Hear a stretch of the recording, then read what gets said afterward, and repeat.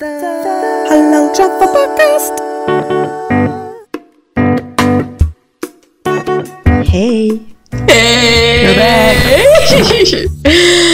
okay, so macam biasa kita ada five rapid questions, Alright. rapid fire questions, Bang bang. like a Eh, same time. Yes. 小叮当. so, just answer when I point to you, okay? Okay. Ready ya? Ready ya siapa? Sedia gitu. Ya Allah. Jangan pekik lah. Sedia gitu. Movies or hike? What? Movies or hike? Hike. Hike. Oh, movies or hike? Movies. Hike. Hike. Okay. Yeah, awesome. uh, one person you're most grateful for? One put my mom. Myself. Hey, faster, faster, faster, faster. Myself, I guess. One person you're most grateful for? Yes. Okay. Myself, ah. Why cannot is it? Why you hesitate? Your questions eh, this one.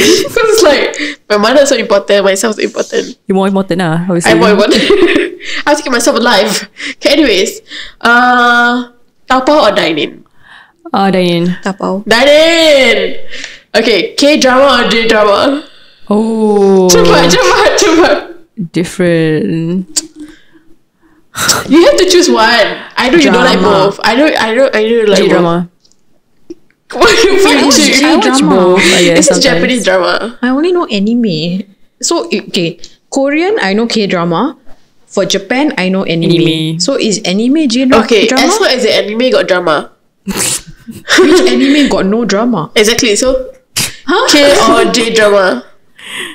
She's gonna say J drama. K drama for me, by the way. Apa sial? Cepatlah, ya. Allah. J drama. Drama. Anime. Okay. One thing you want to fix about yourself. Uh, Next. My hair. my. Next. I want to listen to the alarm clock more. I What, cannot uh, hear the alarm clock. Okay, I want to fix a lot of things. She's Uh, can we, with can, our we, can we restart the five minutes? okay, what, what thing? What one thing? Or two things? One or thing, three two things. One Uh, thing or two things or three things. Yang mana satu? Babe. Whichever lah. Uh, be more um rajin. Okay, that's all. Mm. Huh? You say got a lot of things. Yeah, that's all I want to say for now. Okay. okay, that's very good, guys. Round of thanks. applause. Nah, five questions. Basa tangan. Ah, You want to touch my sweaty palms? Ugh. Yeah, I have sweaty palms too. Okay, so today's episode is there are two extremes. Okay, to be extremely self-conscious, number one, or to be completely oblivious of your surroundings. Which one would you be? Oblivious. Really? Self-conscious is exhausting. Why would you want to do that? Yeah. Sometimes you just overthink. It's just naturally you But if you have a choice, why would you choose something that is exhausting? I would do self-conscious Why?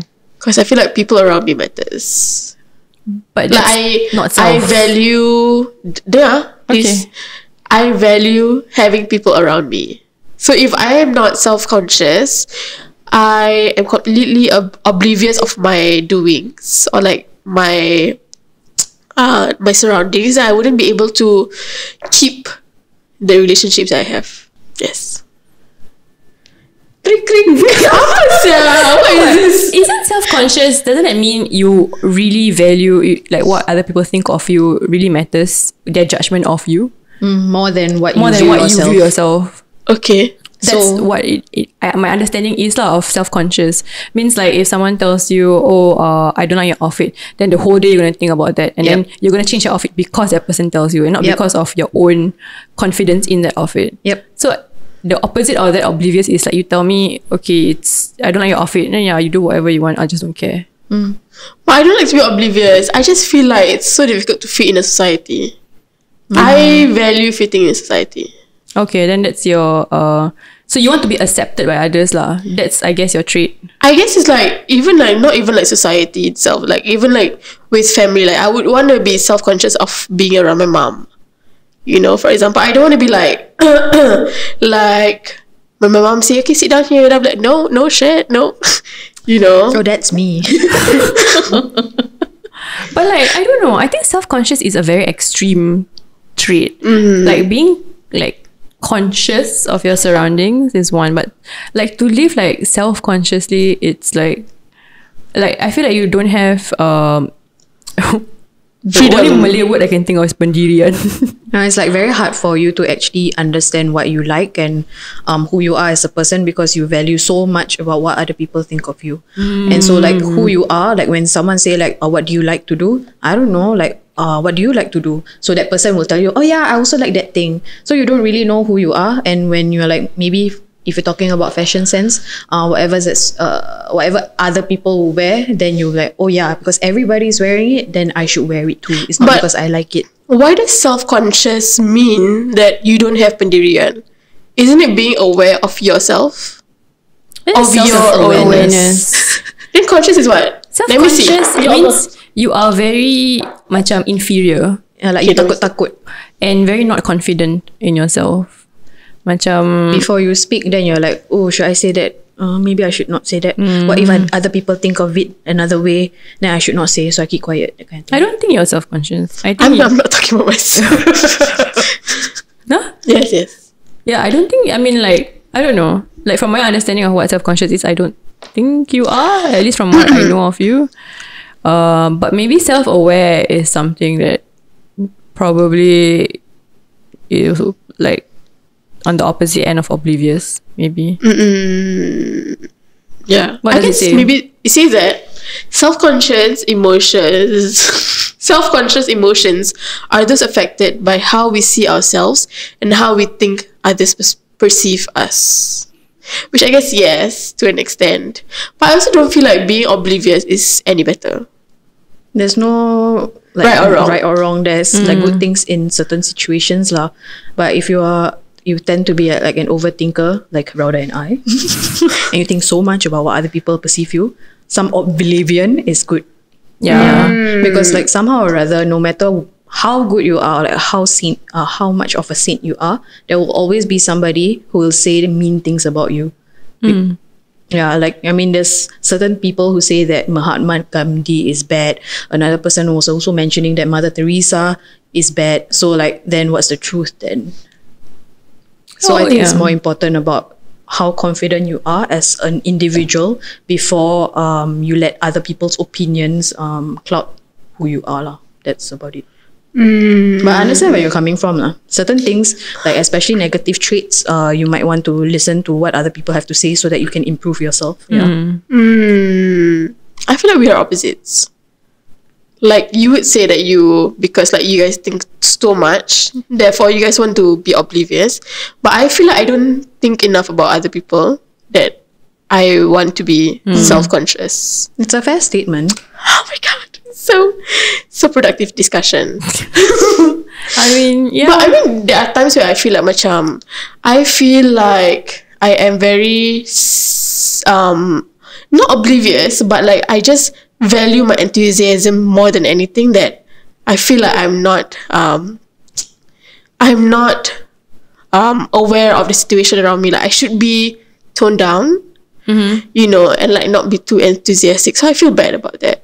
like reading the room. Yeah. Is it? Yeah.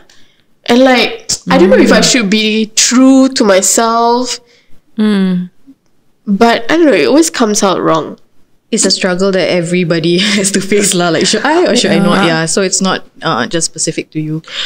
I understand because like when you do something and then let's say you are like overly enthusiastic or like you're just enthusiastic and you're just being you and then like you're reading a room then everyone's not reacting in the same level of energy that you want or you expect then that you become like self-conscious then you become like oh okay like it was at too much or Yeah. something like that I mean yeah I think I've been there We've all been there it has crossed our mind before but it's just that um whether you choose to pursue that thought and let it like eat you and be like, oh, should I have not done this? Should I do this? What can I do differently? That kind of thing. Or like just maybe think, okay, next time maybe I'll just do it a bit differently and just let it go. Okay. Okay. Will you admit that as you grow older, you become more of what you just explained? Like, more of like, I should bring, I should put up like a serious face, or like, I should be more self aware in that sense, instead of focusing on what I'm enthusiastic about. Can you repeat the I do question? not understand the question. Okay, so for example, when you were younger, for example, right? Yep. you weren't able to like read the room as well as now. You know, like for example, when you're going to a party, um, you when you're excited, you show your excitement. But right now, as you grow older, you tend to not show your you tend to not let go of your yourself. Sorry, you tend not to get too excited that you become that you that you see yourself as not reading the room. All I can think about is that as you grow older, you have so many experiences and more knowledge that you just become jaded. that is true. yeah. So Yeah. very little things, or at least I can say for myself, very little things actually excite me truly. Um, but perhaps it's also because like the things that I actually truly enjoy is something very uh, Few. very few people would also enjoy the same things.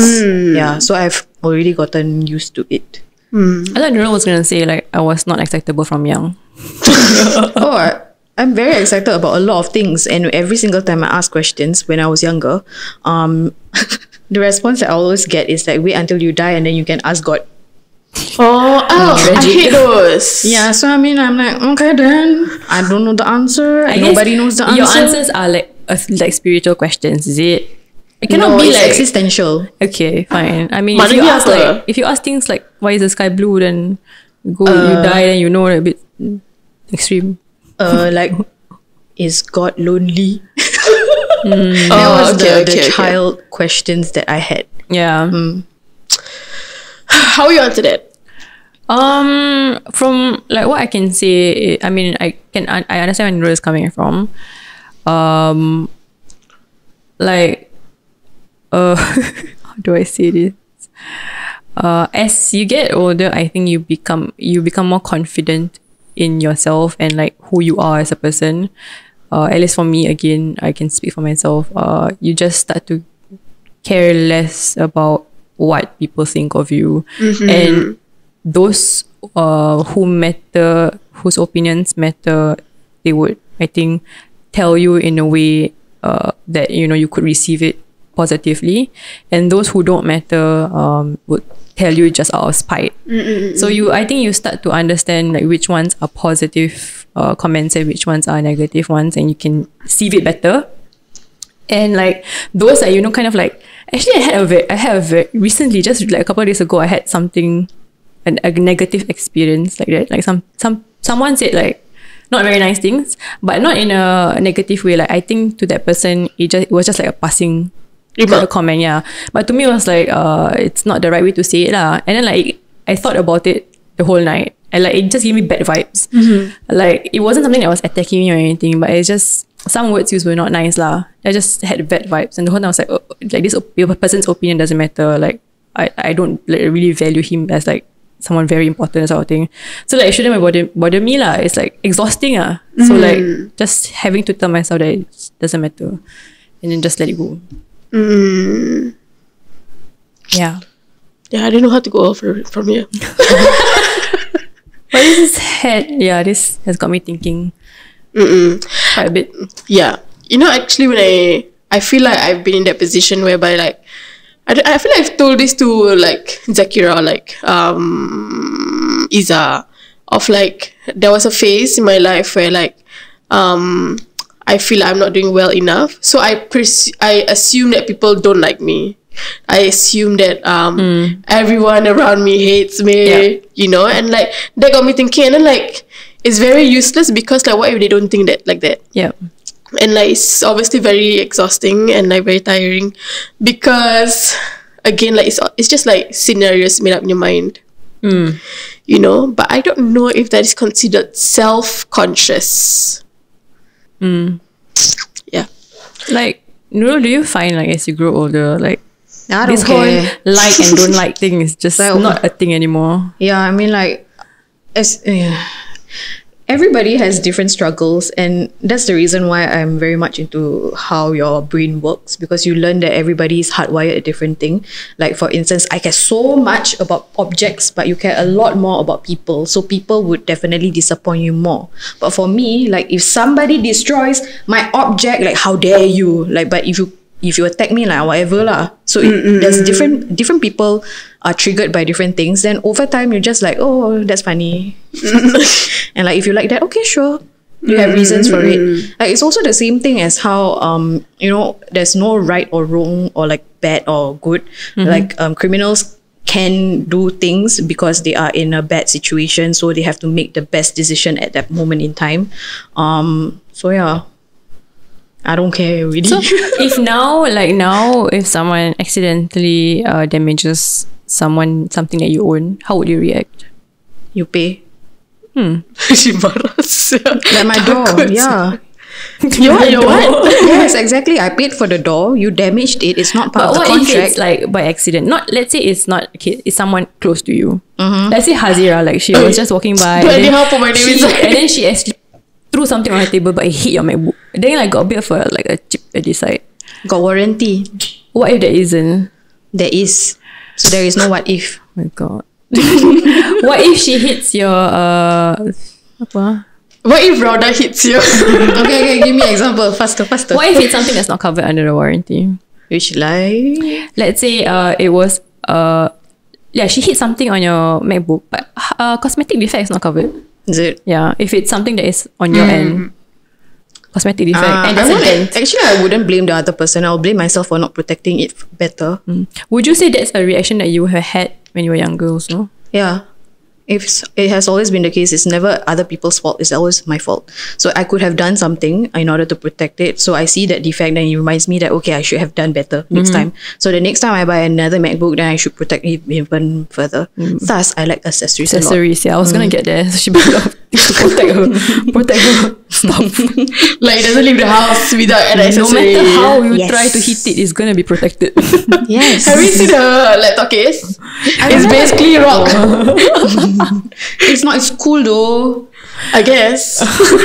No, it's cool because it's magnetic, and then you can turn it upside down and you shake, and it won't come out. Mm. Cool, right? See, so if she like tripped and it won't fall out. So no, I'm good. I'm good. I'm good. my MacBook's good. yeah. I guess that it really isn't like right or wrong.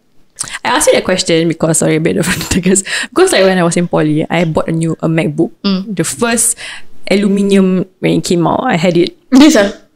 Yeah, when it first came because previously it was not aluminium, right? I got it. Plastic. Then uh I brought it to poly. Then after that it was in a case, but the case was just like a soft uh sponge. Those were the times, right? Yeah, like a zip, right? Yes, yes, and yes, like very nice prints. Yeah. So I was holding it, and I had a friend uh pass me a book, and the spine of the book hit my MacBook. Uh, when I was hugging it, and there was a case. So I thought nothing happened, but when I took it out, there was a dent right beside the Apple logo. And it was a very noticeable dent, and I got it like a couple of months. I was so sad at that time. I was like her, like uh, my my stuff. I really really juggle. Like if something like that happens, I was so triggered. I think I might have I might have been cried or something like that, or like I might have teared or something like that. I didn't talk to my friend. I was like, I was like, I didn't talk to her. Oh no, she cried because I didn't talk to her. Uh, So I was just like, I mean, I need space. yeah I need to grieve. Yeah, right? and like it wasn't. I think it was, or maybe it was not covered under warranty, or I don't know. I can't remember, because it was cosmetic lah.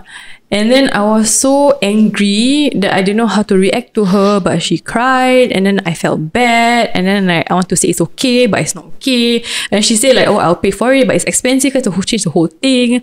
But then like, I feel if something like that happens now, yes, I will be sad. Uh, but I know that it was again my fault and again uh it's just something that was meant to happen already yeah. like no matter i think how much i tried or if it's going to happen it will happen and then it's just about just embracing that grief and like Yeah. that whole process and just take it as a life lesson You know, on that note, yesterday I was listening to uh, Ida Aslin's podcast with Sumi Jones, right?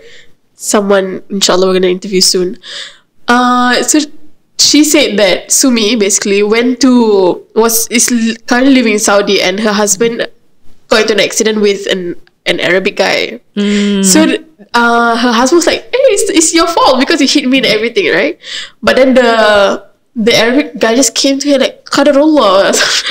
Basically, it means like, Qadar, Oh, mm. Allah. So, and like, then the husband like, macam you want to try to have a fight because like you want to show that you're right, but at the same time, what he said is correct. It's Mm-hmm. Like qadar Allah. Yeah. You know, so halas, I'll pay for it.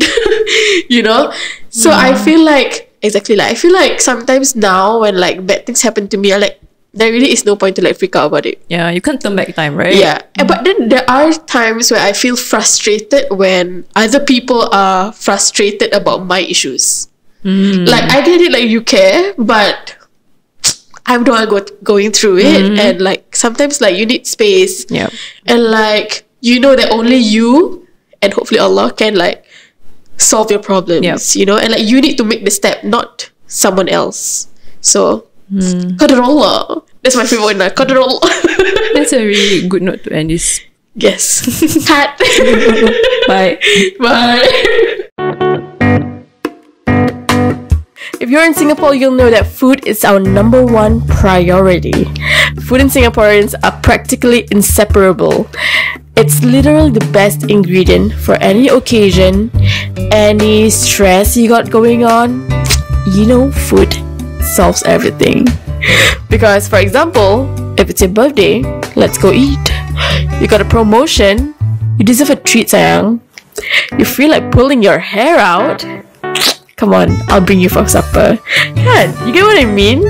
It's literally perfect for everything. And of course, we want to tell you everything about it. Like places you didn't know were halal, or 12 new halal places you need to try this week, for example. We are determined to make your tummy bigger and bigger and bigger and bigger than last year or any time. So follow us on the blog to get all the insights at www.halaltrip.com and of course we are also on every social media platform at Halal Trip. Alright, guys, thanks for listening. So we'll see you on the next episode.